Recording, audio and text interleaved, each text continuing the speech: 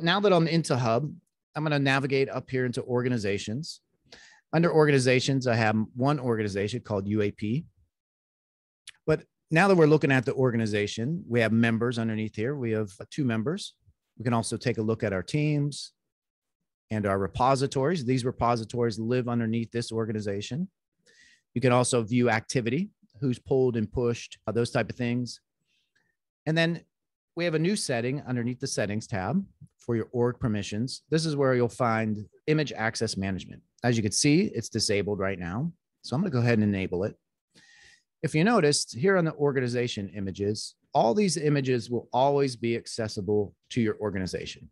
So I'm not able to, to turn this off. So any developer that's a member of your uh, organization and then put into a team, they'll have access to all of your repositories that live in this organization. The next two big settings are Docker official images and Docker verified publisher images. Our official images are some very popular images out there. So I'm, those are the two I'm going to look at first. So right now I have them restricted. And let's jump over. We're going to go into Hub. Let me go into another screen and I'm going to I'm going to search for Node. So nodes here, it's an official image. You can see by the green icon. So let's click in there and I'm going to get the command to pull this image down. So I'm just going to copy it there jump over into my terminal, paste that in. So I'm going to do a Docker pull node. So that's going to go out to hub and try down, try to pull the official image down to my local machine. And there we go. Access has been has been denied. It's saying I need to log in. I'm already logged in. Let's double check that. So I'm going to I'm going to log out and then I'm going to log back in. And I'm using another account that's in this organization. Let me just show you. So you make sure I'm not using, uh, verify that I'm not using a crazy account. So there's this user that I'm using. And they're a member of the sales dev team. Okay. So jumping back in, let me log in.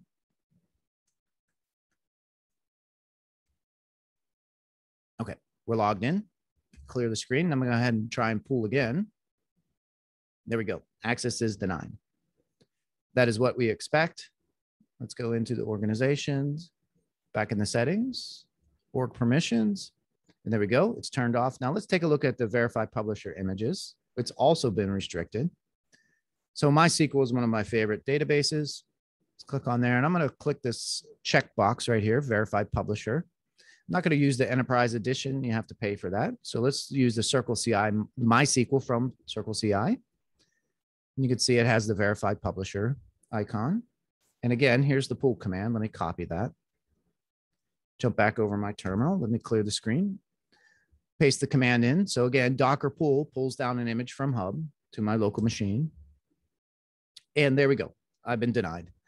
So let's go ahead and turn those back on real quick. And then now we can jump back into the command, into the terminal, and I'm going to pull node down. There we go. It's been pulled down. Now you'll see it says already existed. I work a lot in Docker, obviously. I, so that image has been cached, not accessible, but just cached. And so I was able to pull that down now. And let me pull down the Circle CI MySQL image. And there we go. It's pulling it down.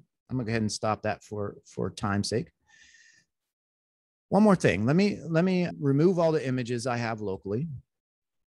We have no images locally. And so I want to show you how when I build an image, the same restrictions apply. So jumping over to my code, I have a little Node.js application.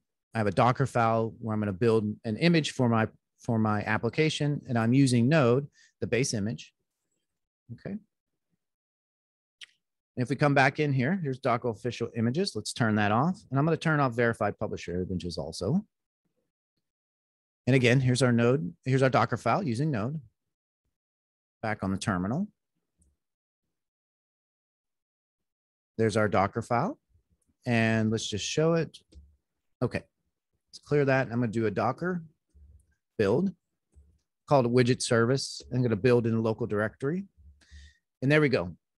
I've been denied access to that official image. So my build fails. And that's what we expected.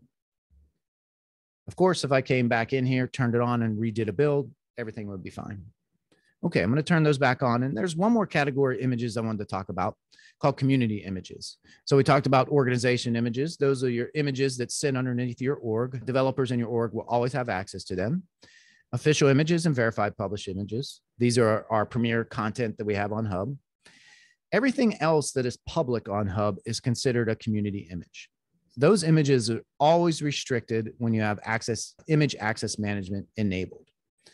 So if I disable it, you can see you can now pull community images, but when it's enabled, they're always restricted and I cannot turn that off. Okay, so those are the new features we have in image access management.